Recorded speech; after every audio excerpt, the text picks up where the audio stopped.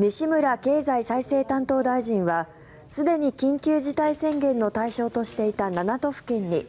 北海道、茨城、石川、岐阜、愛知、京都を加えた13の特定警戒都道府県以外では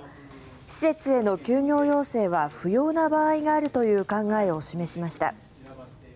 特定の施設の要請であったり、指示であったり、あるいは公表という、より強い措置はですね、今の時点では、えー、感染拡大がそんなにまだ見られてませんので、えー、34件では、えー、今の時点では、えー、すぐに何か必要になるという段階ではないんではないかと。また、都道府県を越える移動は控えるよう呼びかけた上で、現時点では、